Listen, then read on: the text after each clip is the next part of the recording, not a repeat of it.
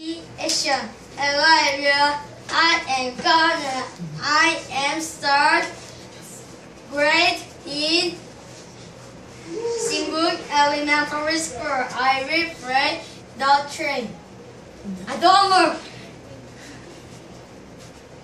Dad and I went to the mall. We went down the hall to the store.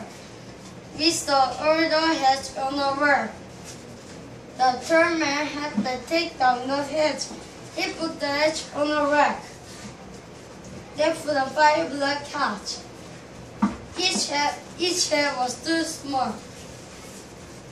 The third man put the heads back. Call me when you get new heads, Dad said. Dad and I left mall and went back home. The end. Thank you for listening.